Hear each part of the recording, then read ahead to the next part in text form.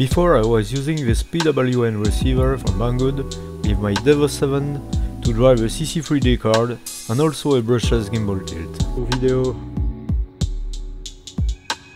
La commande tilt. When I changed my flight controller, I also had to change receiver. I chose this S-Bus little receiver from Banggood for my Devos 7.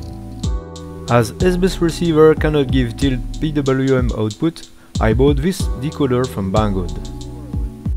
As gimbal PWM output was on channel 6, I had to short two pads to enable 5 to 8 channels. S-Bus receiver to FC, split S-Bus to decoder, on servo plugged on 6 channel to test. S-Bus flight mode testing, and servos working too.